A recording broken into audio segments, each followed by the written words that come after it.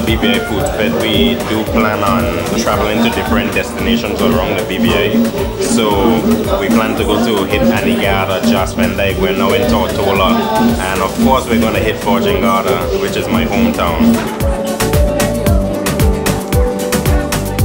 Out concept on Anegada is going to be similar to the various islands where you go to the various restaurants and you enjoy the menu that they have there. Uh, what is going to make Anegada extra special is that we're going to have the culinary team there um, serving samples at the various restaurants at various times during that weekend.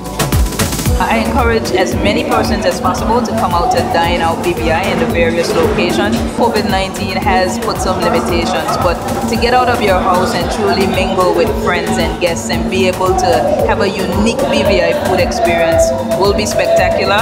I hope that persons will be able to come out and ensure that they are part of the celebration.